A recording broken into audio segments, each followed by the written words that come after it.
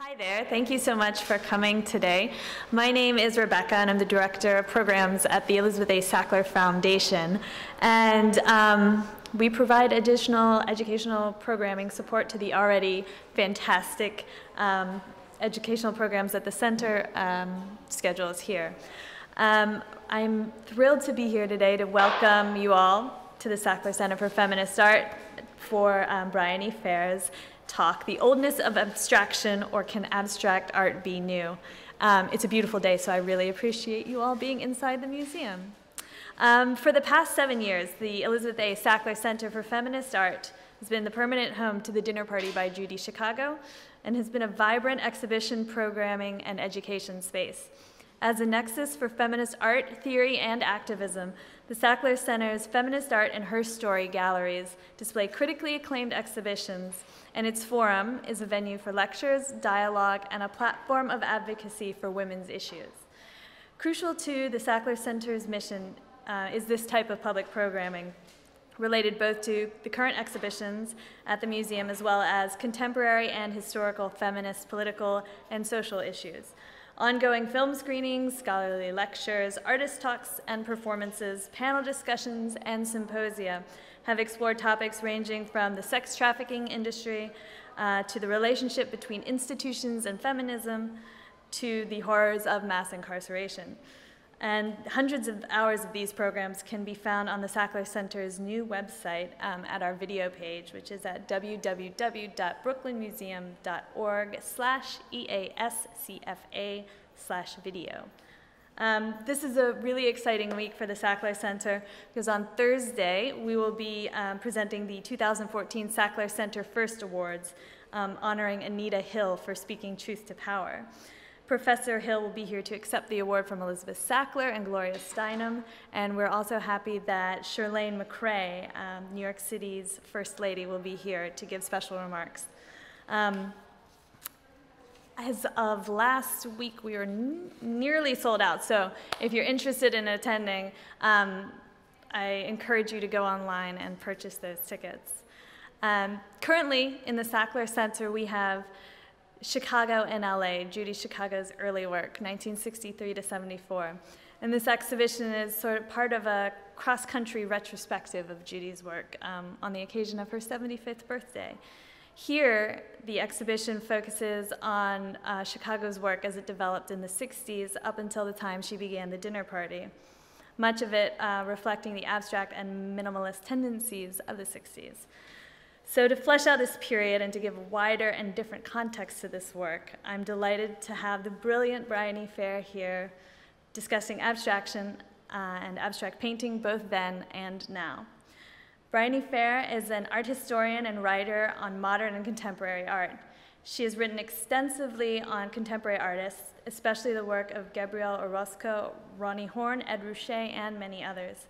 Fer has written books on abstraction, one titled On Abstract Art, and Art After Modernism, called The Infinite Line, as well as curated several exhibitions.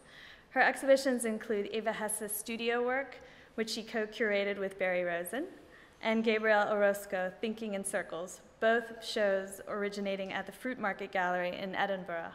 She is a professor of art history at the University College London and recently has been the 2014 Varnedoe Professor at the Institute of Fine Art here in New York. Please help me welcome her.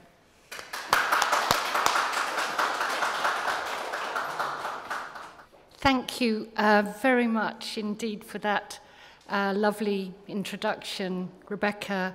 I'd like to thank particularly Elizabeth Sackler and the Sackler Centre uh, for this invitation, um, and also to Jess Wilcox and the, the Brooklyn Museum. I'm really delighted to be here and to think again about some of these problems of abstraction that have preoccupied me for a long time, but in a, a slightly different context.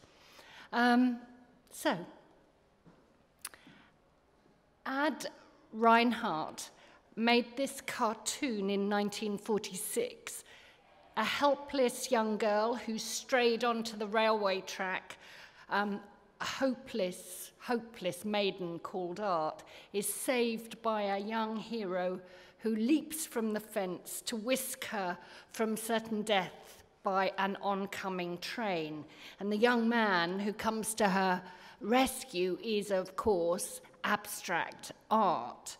The dangers he saves her from are many, flying from the locomotive like kites, from banality and prejudice through to corruption, uh, money grabbing, and sin. The ills, that is, of a you know, a thoroughly corrupt culture, which for Reinhardt as a committed leftist, meant capitalist culture. The cartoon, which appeared in Newsweek in 1946, is funny, combining Reinhardt's deeply pessimistic view of contemporary culture with his optimistic belief in the redemptive power of abstraction. Partly it's comic because it's ironical, um, deploying the means of old fashioned illustration cut from old magazines and collaged. That is the opposite of what it espouses abstract art, to champion the cause of abstract art. The point, though, is a serious one. What could be more serious or ethical than saving art from impoverishment and complicity? And Reinhardt had good reason to believe in the potential of abstract painting. The abstract expressionists were coming into their own at this point by the mid 40s. And he was an abstract painter associated with that group. Um, this is a painting from 1950 by Ad Reinhardt. You know, he was committed to the radical problem project that he thought abstract painting was. It's easy to forget. Um, it seems to have been forgotten, that sense that abstraction could be the savior of art seems almost inconceivable now. If anything needs saving or even just salvaging, it seems to be that project of abstraction. On the other hand, the threats to art, whatever kind of art you think of, haven't changed that much or have only been exacerbated under the contemporary conditions of late capital of our own neoliberal age. If Reinhardt thought art was threatened by the iniquities of the market, then what of the global scale of the market now?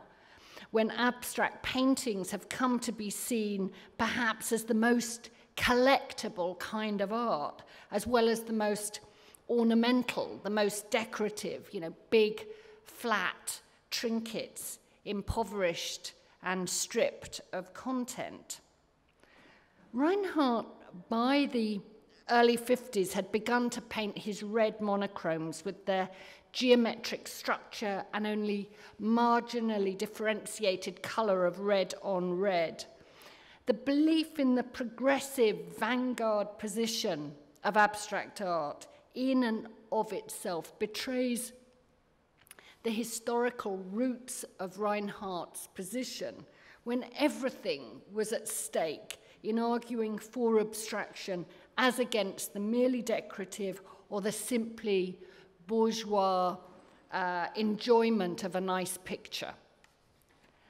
His black monochromes, which he produced from 1960 till his death, would be his final proposition of art as art. That is, you know, art to save art. Rooted in those leftist debates of the 1930s, but also in those of the historical avant-gardes of the 1910s and 20s, that is, of the first generation of abstract painters like Mondrian and Malevich. Here's a classic Mondrian from 1932. So this was a, a historical, a critical, as well as an aesthetic project, not simply a market-driven idea of collectible art or a latter-day curatorial vision of institutional gallery art. You know, the belief in the transformatory possibilities of abstraction, often couched in transcendental and cosmic terms, were associated too with art's revolutionary potential in the political sense.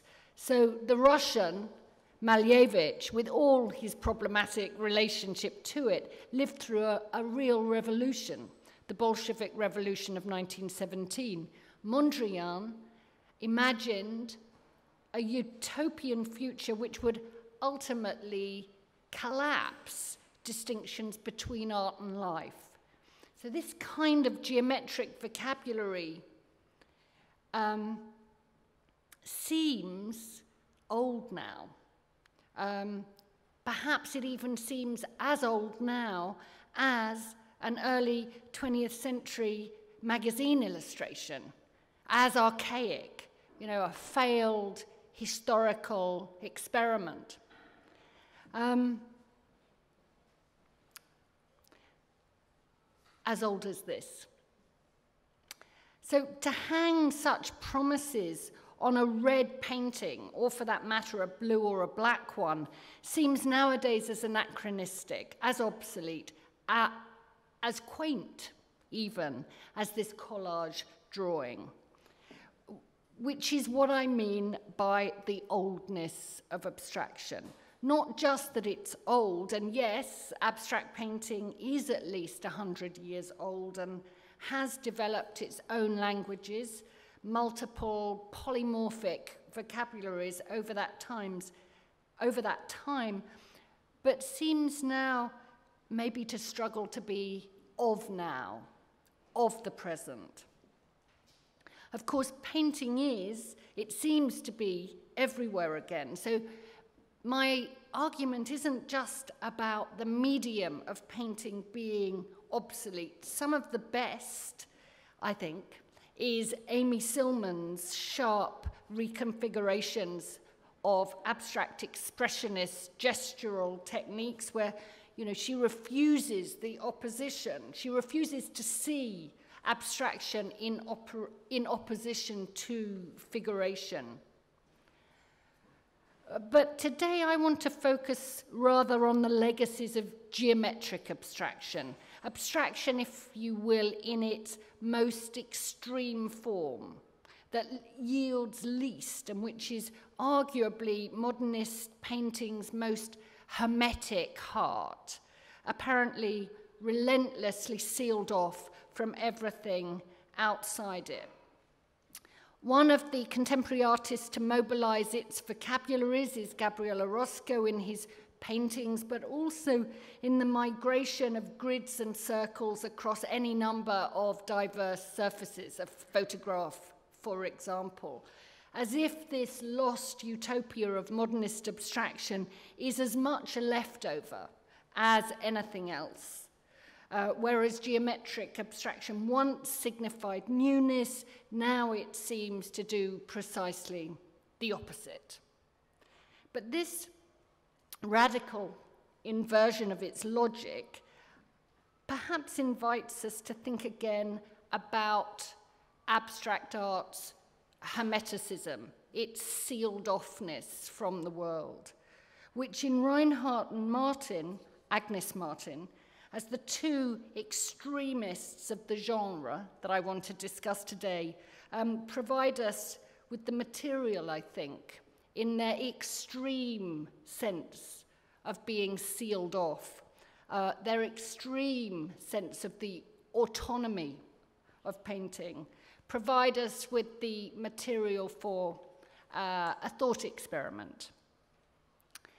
If Reinhardt was famously dubbed Pure, uh, Mr. Pure, by Elaine de Kooning in her spoof Pure Paints a Picture in 1957 in Art News, then Agnes Martin would be, you know, Ms. Pura. Reinhardt's identity as the butt of Elaine de Kooning's joke had been thinly veiled.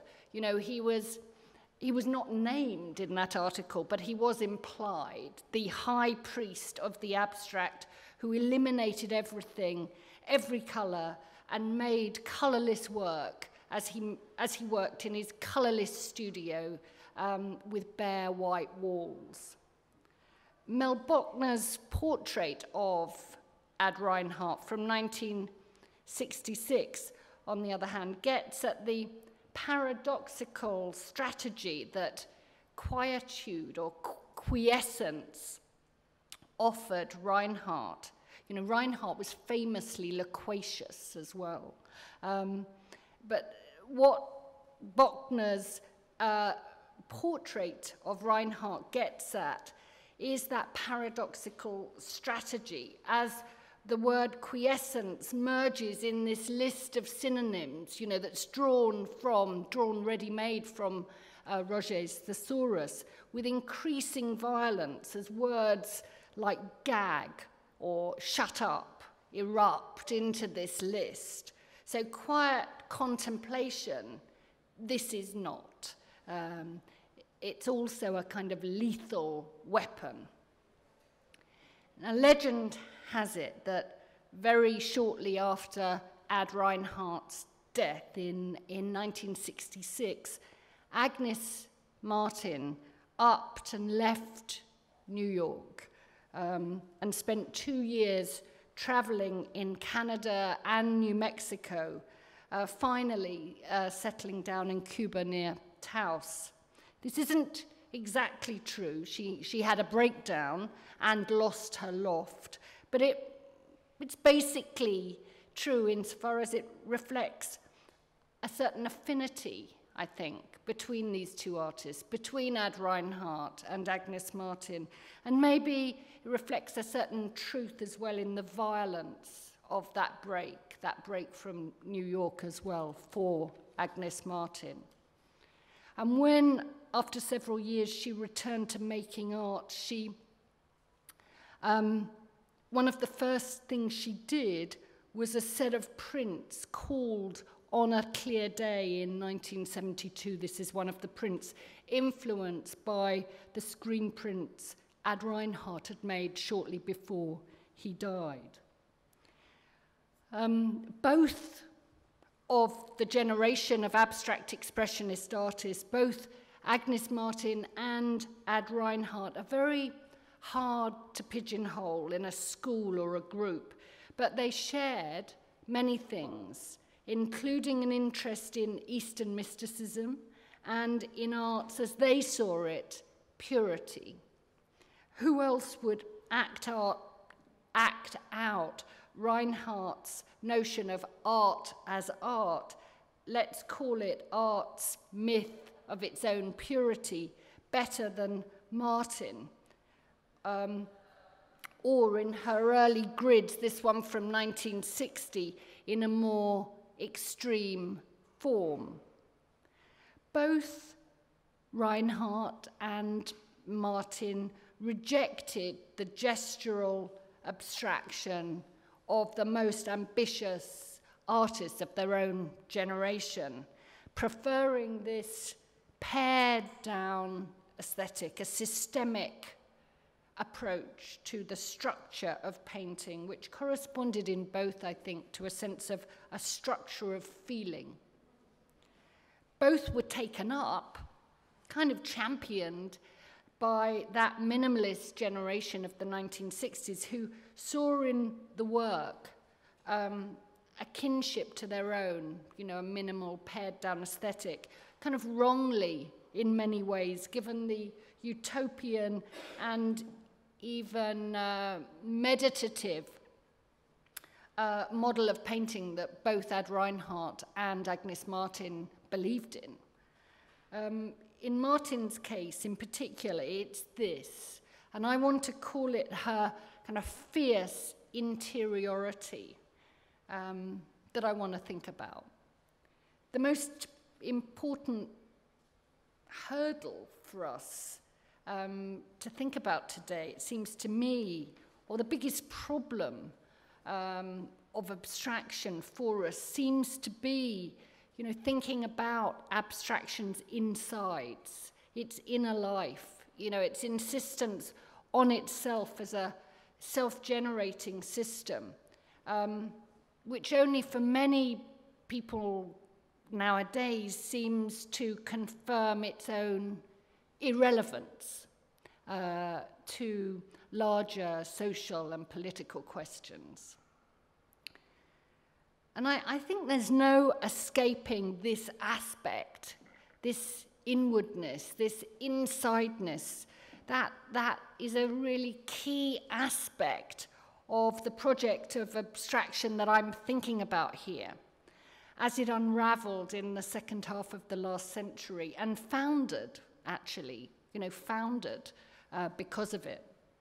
Agnes Martin herself put it very clearly, very succinctly, unashamedly. She made painting, she said, with her back to the world. Um, both literally, of course, close up at the canvas, laboriously, slowly making a painting like this one.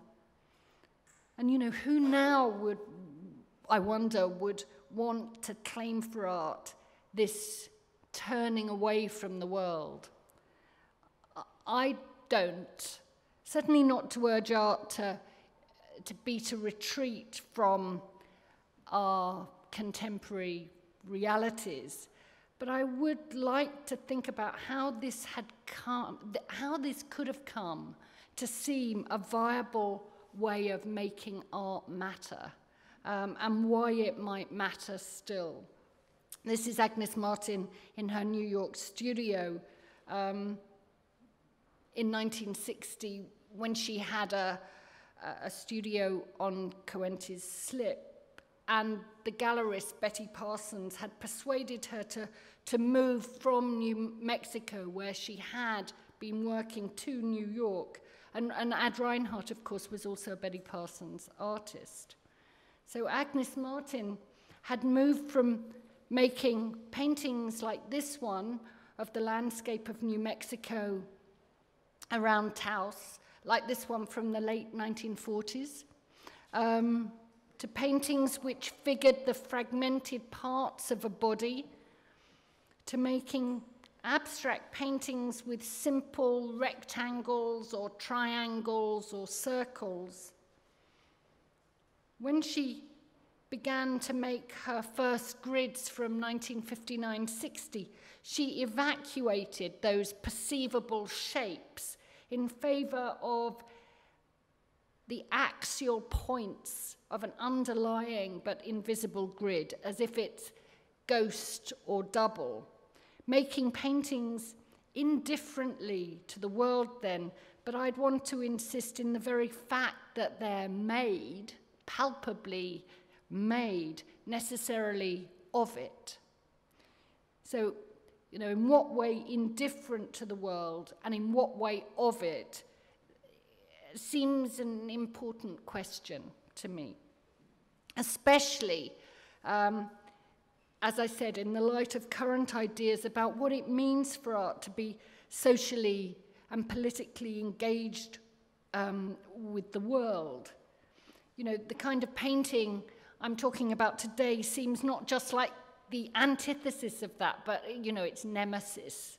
Um, the two, there are two exhibitions on show in the museum today, which show two radical alternatives to it for sure, arguably precipitated by the very failure of precisely this brand of hermetic abstraction and yet, these paintings, I'm thinking of the civil rights exhibition and the Judy Chicago show there. So I'm thinking about today a very different trajectory within the history of abstraction because I think these paintings are still so compelling, um, not least because they are so extreme. There's very little minimal or rational about them. So I think in that extremity, we can perhaps begin to think differently about them. Reinhardt made the case that he was making the last paintings. His black monochromes, which he began to paint in 1960, were painted with ever so slightly differentiated tones of black by adding green or red um, or blue to the black. And whilst at first they seem all over black, simply black monochromes, those differences slowly emerge in time. Um, I hope that that shows. What you don't get, I think, is the, the way that you adjust and that they, they change as you adjust to these paintings, so that from a, a simple black monochrome, the cruciform shape emerges. But in that way, in these are paintings like Agnes Martin's that unfold in time, whose medium is time. The paint is merely the vehicle for that kind of, could you call it a, you know, a temporal thickness? You know, that time is, is something almost palpable and thick. This series in oil on paper from 1960 show, I hope, the slow acclimatization and adjustments to the subtlest shades of black. They seem like acts of negation. Um, they may seem iconoclastic, but they are also, in a sense, pure icons. They slow you down, force you, force you to adjust to them, that make art a place in culture where you're asked not to be religious but reflective.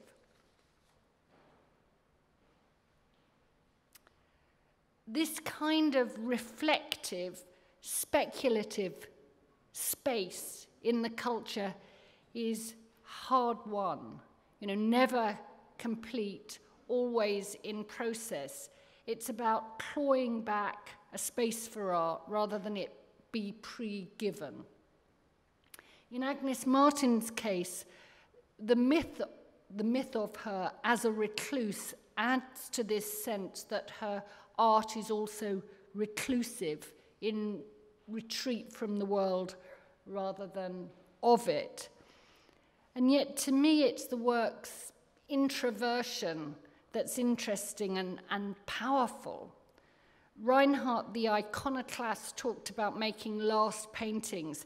He had a sense of history, whilst Martin, if she did, it was of a quite different order, a more introverted order, like a room of her own, um, to cite Virginia Woolf, or like an internal visual monologue. And perhaps more of an extreme case than Reinhardt, if only because he would make his last paintings for six years until his death in 1966.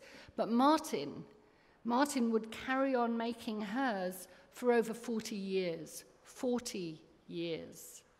And that whilst none is the same as another, and there are certainly shifts in the work as well as hiatuses, you get that sense that Agnes Martin wanted to avoid radical change. In fact, avoid change, um, that she avoided newness in favor of continuing with the same, that she preferred no change.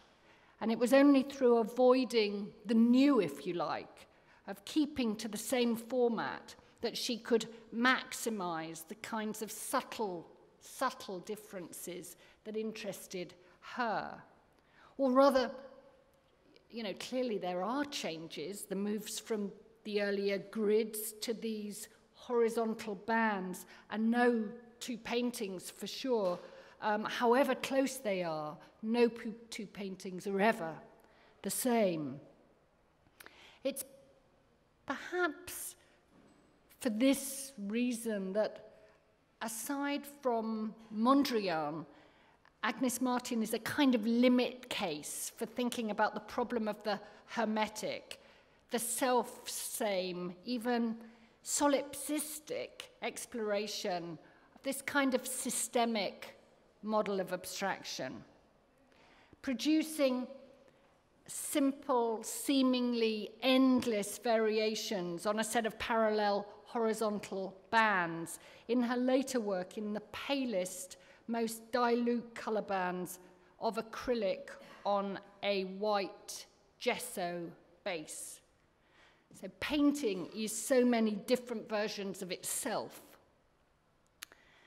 This is where she both continues uh, Reinhardt's project that replays again and again the coming into being of painting and reconfigures it. Rather than a, a melancholic reiteration of the death of painting, this is, I think, a, a regeneration of painting. The utopian imaginary in Martin is symptomatic um, also of a, a kind of melancholy, but it's, it's the melancholic conviction of its, the impossibility of that um, utopian imaginary. As Reinhardt's paintings change in perception over time, so as many commentators have noted, um, de Martins, you know, stick with them and the differences, these kind of, this self-differing impulse take over and amplify.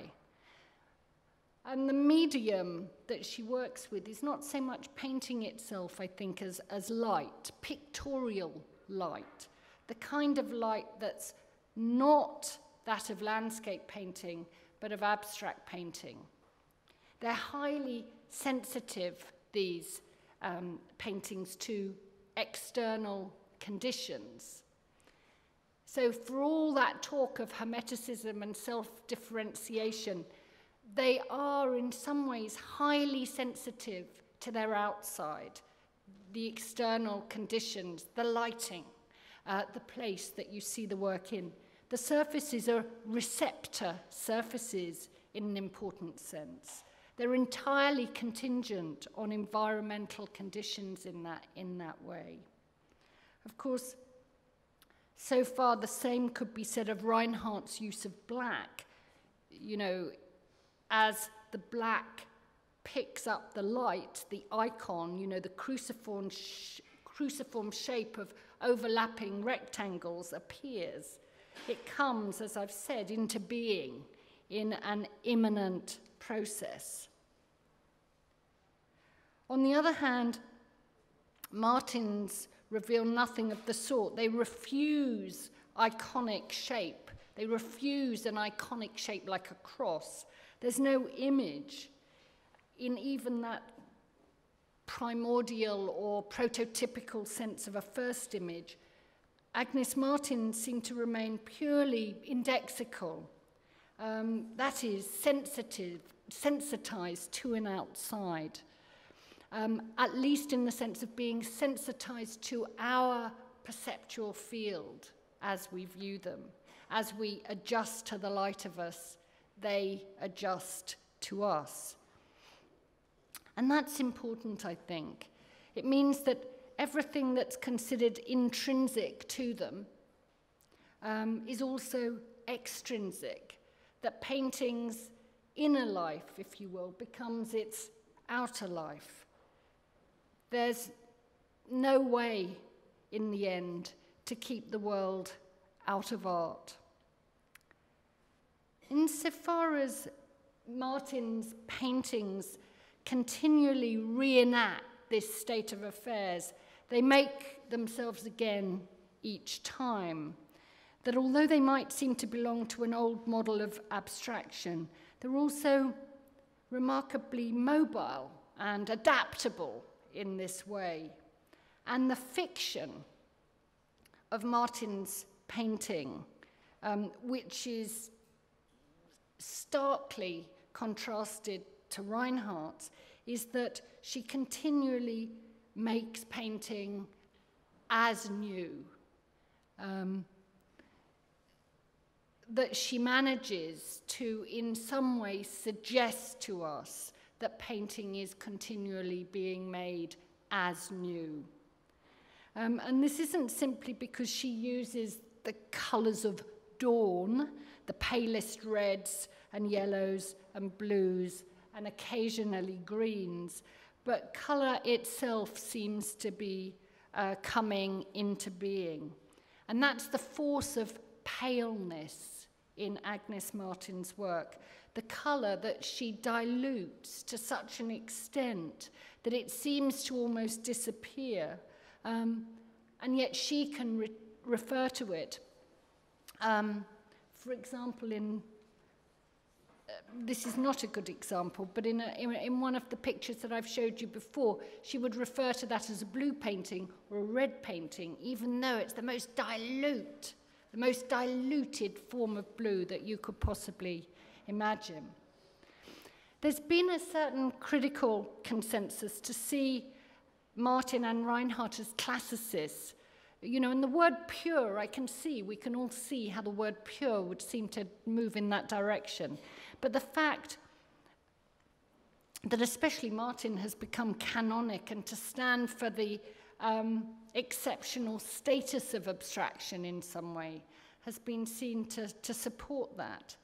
And yet it, it seems to me to be very far from true. For a start, she has become canonic I guess, of a high modernist moment, but she's never quite of it, partly because she is its most extreme exponent. Just as Reinhardt has been recognized within that modernist tradition, but not as one of its most major players, you know, not like Rothko, for example. Something in the work of both of them kind of holds it back um, that doesn't quite belong to that high modernist phase, or both does and doesn't. This is an example of her red painting. Um, and most of all, I think it's not true that she's a classicist because of the cumulative effect of her work, which is to suggest a kind of compulsive proliferation. Titles like Happy Holiday, yes, I'm afraid that is the title of this work, Happy Holiday, or gratitude, which is the previous one that I showed you, the, the, the green one, do nothing but betray, I think, a certain kind of struggle for calm rather than calm itself, where perceptual agitation is always, you know, just about kept in check.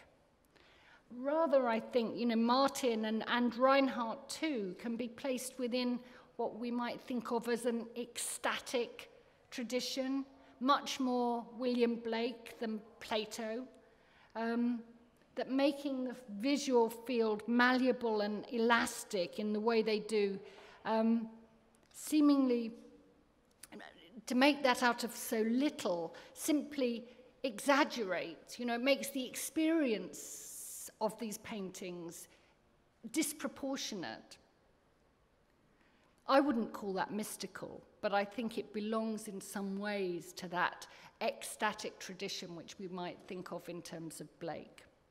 Likewise, the newness of them, the way they emerge into the field of vision, like a vision, replicating not the, the surface of painting, but the act of seeing. In this respect, her late paintings like this one never stop being as new or bringing that fiction of newness into being. I don't think that's quite the same mythology of the new that's so familiar a part of um, avant garde rhetorics, of making art change in the light of new conditions in order to, to be adequate to those conditions, but reveals the you know, the artifice of the as new. She reveals the artifice of the as new, but she also reve reveals the possibility of possibility that the new represents.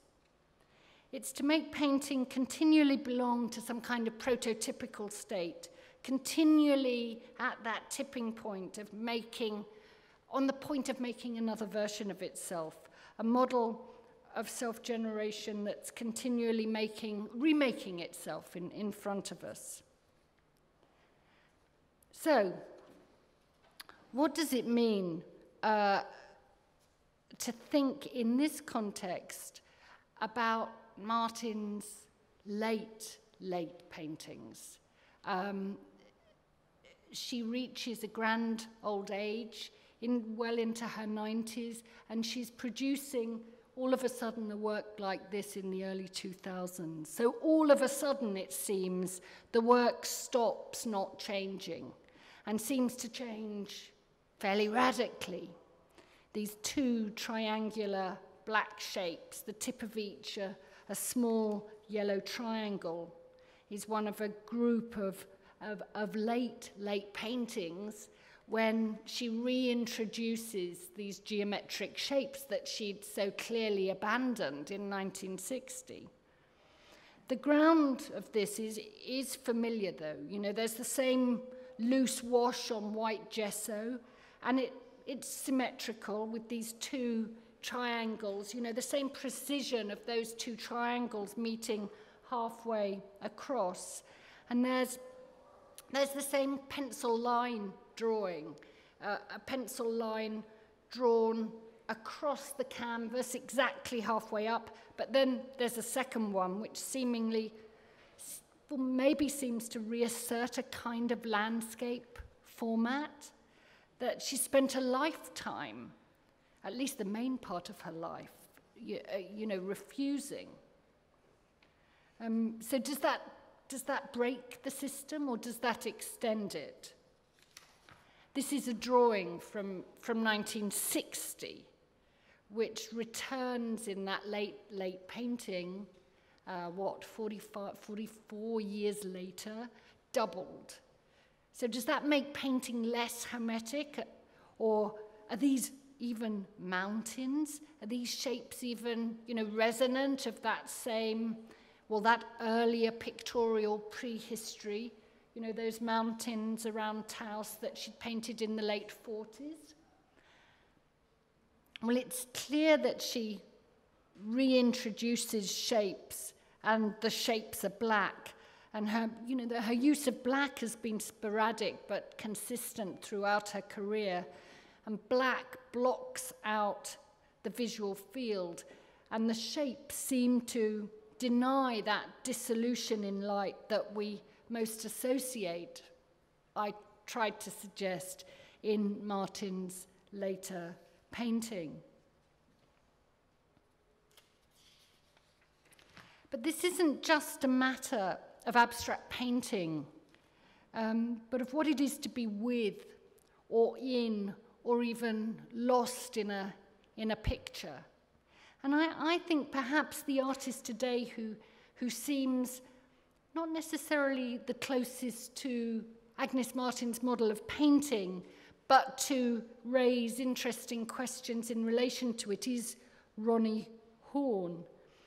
This is part of a series um, called Bird by Roni Horn, two photographs of a stuffed bird from the back, replicating our position in front of the image, two stuffed birds, in fact, that she found in a classroom in Iceland. Um, Iceland is Roni Horn's island, an island she always felt that she could be lost in. Um, she's a kind of islander artist, I guess, um, an American artist who went to Iceland to get lost in. Um, and an artist who also, to me, dramatizes this problem of interiority, um, as Martin did.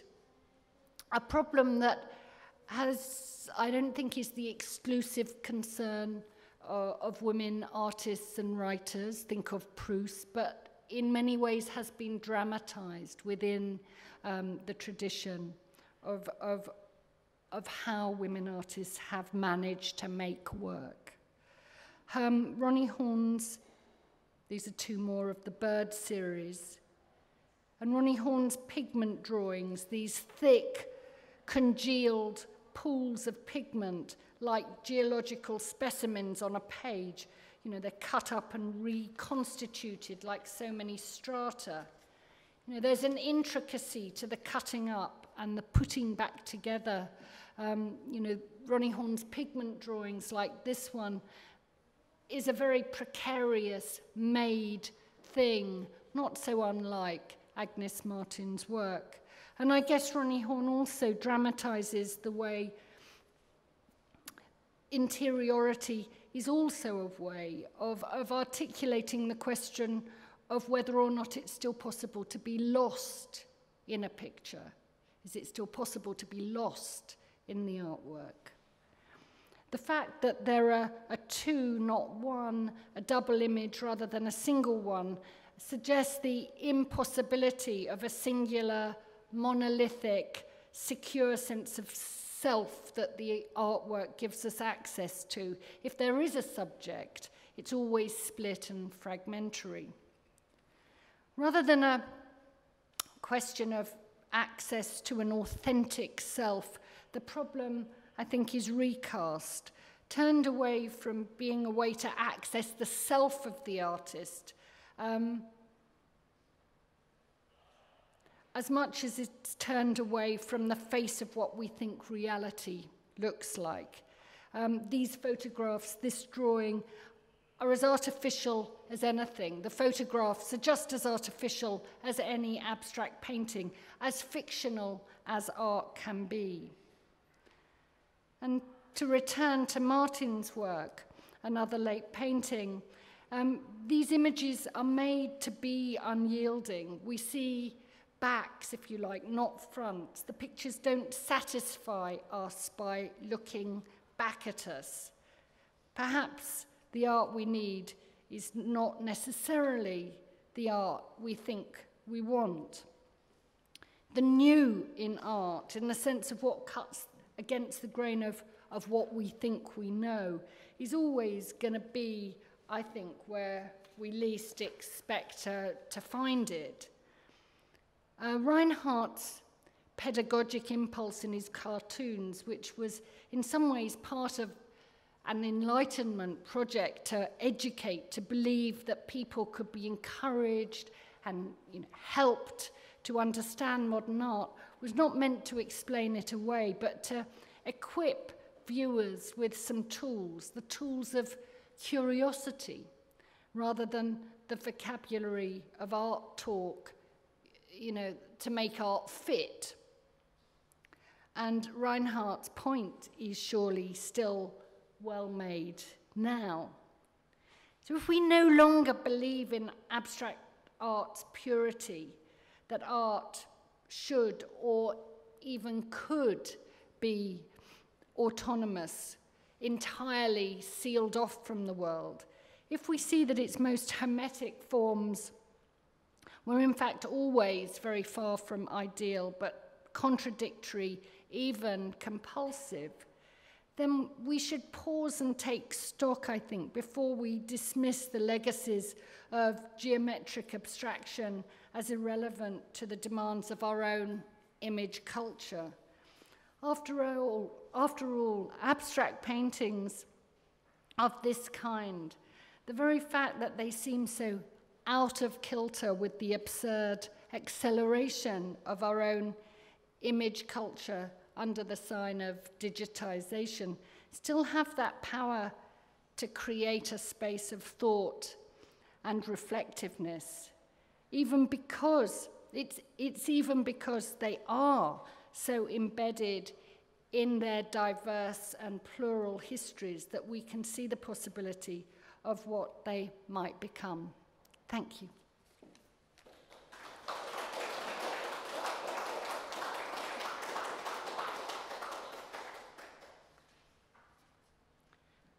I'm very happy to take questions if anybody has any points or. I have one question. Sure.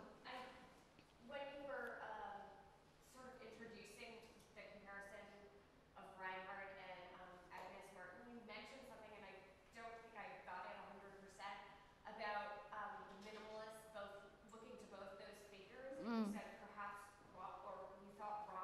Yeah. And I just was a little curious about that because when you talked about later than, you know, the perceptual sensitivity, mm. there was something to me that resonated with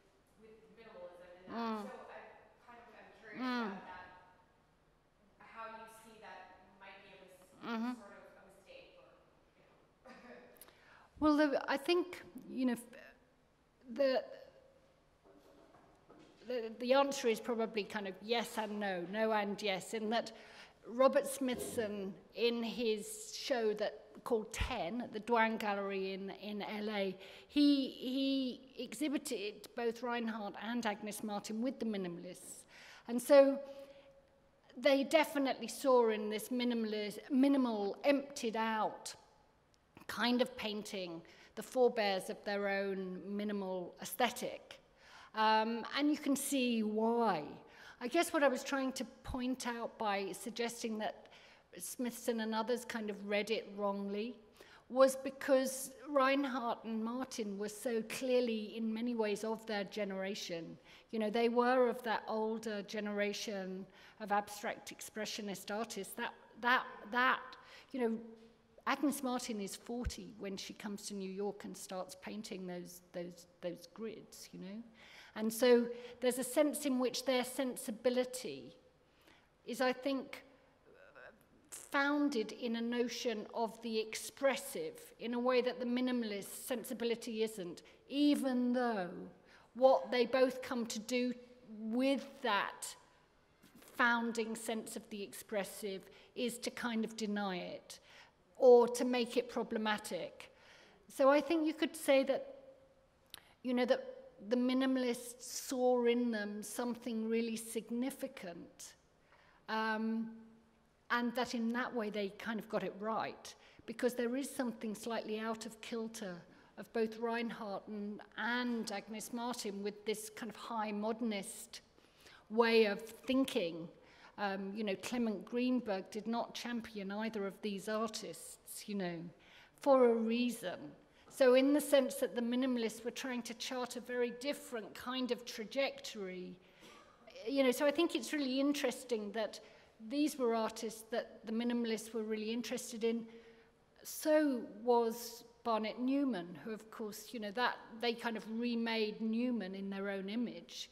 They kind of, Judd comes along and almost paints Barnett Newman in kind of a standardized cadmium red light, when, of course, you know, Newman is not painting in that way. Newman's making color, not using ready made color, you know, this kind of thing. So I think it's a really, you know, the 1960s is this kind of primal scene, isn't it, of contemporary art. And we have all these different, different tendencies working off against each other, but also these different generations sort of jostling against each other too.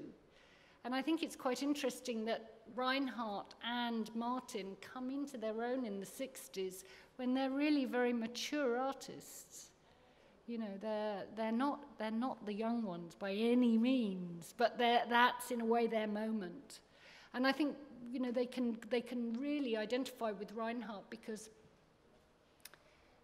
well, because he's such an oddball, you know. Mel Bochner sometimes tells this story that he and Smithson met Reinhardt on the street, you know, in the middle of the street in Manhattan. And, you know, Reinhardt is very kind of, you know, talkative and sort of saying the, the problem with you guys is that you can't choose between Malevich and Duchamp. And they just kind of shrug and say, you know, why would we want to? You know, kind of why? Why would, so there's a, there is a huge difference between those generations. And for Reinhardt, you did have to choose between Malevich and Duchamp, and they chose Malevich. And nobody really chooses Malevich anymore. You know, they really, and so it's that kind of trajectory that I think is, you know, kind of interesting to think about. Because they are, especially Reinhardt, is a very articulate artist of a crisis. Um, even if the work that he produces doesn't depict a social, political, aesthetic crisis, he articulates it brilliantly. And that crisis is not so unlike our own. So I think, in a way, that's why he, as well as the fact that he is an artist who makes cartoons, makes abstract paintings, makes um, photographs, as shown in the recent Zwirner show. You know, I think it's not just because he's a, I don't think he's at all a kind of postmodern type of artist who works with these eclectic media. but you know, he articulates something. Yeah.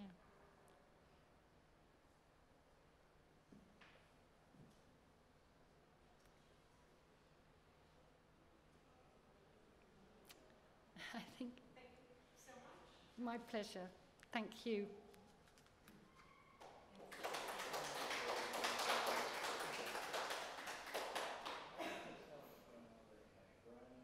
Sorry?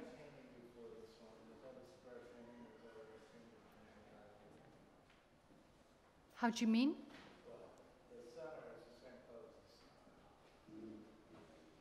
Tell me that again. It's the whole thing. It is. Oh yeah, sorry, it's the whole thing. So this is a this is a grey wash on the gesso. What's this orange on the side? I mean, it's not, it's only the white, red, Yes, it with hasn't that got figure this. in the middle. It's not, it's, that's just the screen. Yeah, yeah. Weird. So it's it's pretty square. Yeah, yeah. Yeah. It's all that shit, but, um, you know, on Agnes Martin, it's really light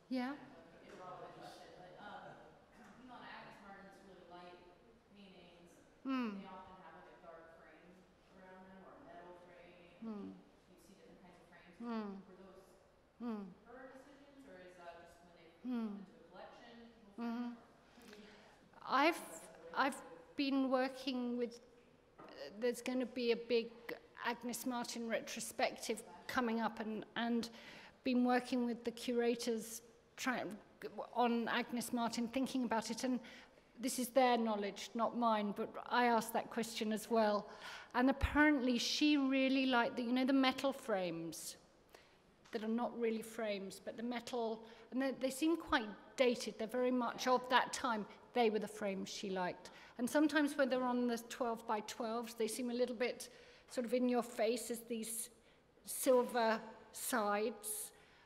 But that was what she wanted. And obviously on the bigger ones, they're- do, they do work actually. And once you know they're her choice of frame, they seem to work even better. Um, But those are signs of the new. Those are Yeah. really very clear and legible signs. of- Yeah. Yeah, yeah, absolutely, absolutely. But not, I think. Do you mean that in? I mean, I don't think it's the new in the way that somebody like Judd or even in some of the Judy Chicago work in the in the galleries that are looking for the the kind of fetish surfaces of our culture. I think in some ways she felt that was reasonably neutral, those aluminium frames. Um, but yes, I suppose with time they have come to seem very much of that moment. And also, I, I don't know, I'm risking a theory here, but you, you link the frames and this conversation, and it also solves a formal problem, especially for big paintings and a big prelude after painting, which is what to do with the border. Yeah. And, and uh, other traditions, they went to paint the border, especially in paintings Mm. like all reefs, Mm. or lines, or repetitions Hmm. of like, you know, they went to the border, and that's something that also happens through the Mm. cities. So But when you, one of the things that I've also learnt recently about her way of dealing with the edge is that you'll, you'll notice that there's not just the frame, but the lines stop like a quarter of an inch short of the framing edge, always. Yeah? It looks as if they fade to their edges, but it's an optical illusion. I mean, I've always thought they slightly fade. There's an optical illusion that goes on there. And there's a film that somebody, a brilliant filmmaker called Mary Lance made that she called With My Back to the World. And you see her, Martin making these late paintings. And, you know, it's quite simple in one way. The effect is not, is that she's put, putting masking tape down the side and she's drawing that ruler to that edge and the masking tape is half on, half off. So, you know, that is, and she always does it. So it's, it's very different from you know, the Mondrian idea that you want to either, you know, Mondrian either goes to the edge or he keeps it just short. So, you know, there's, in, in, in Agnes Martin, you know, there's, a, there's quite a simple technical reason for it. Um, she's also, which is interesting, I think, and it becomes very interesting when you look at her working in that film. She always change, she always paints these bands vertically. So from top to bottom and then uh, rotates. And there are a few with, with vertical bands, but they're mainly horizontal. And she, and that's why you get this, it's not so clear in that one in Happy Holiday, but this one obviously is clearer. There's often a kind of gravitational pull, or it's almost like kind of rivers of this pale dilute color kind of being coming across. And you know, you can almost tell the direction that she, she painted it. Um,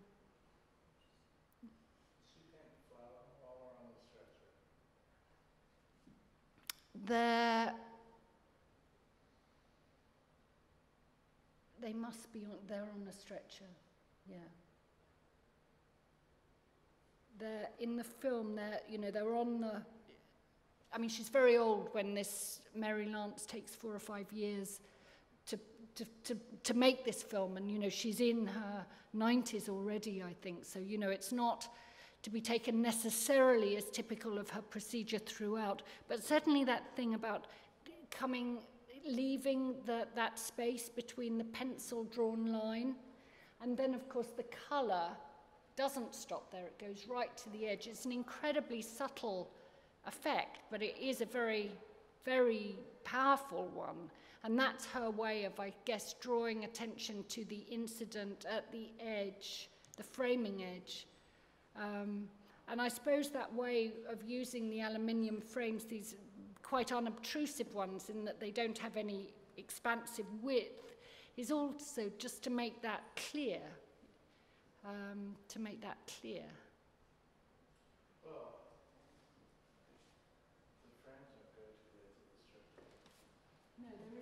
there's always a little trough.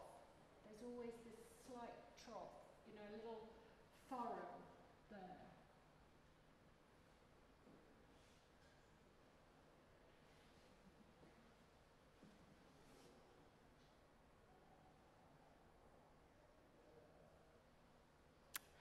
Okay, thank you.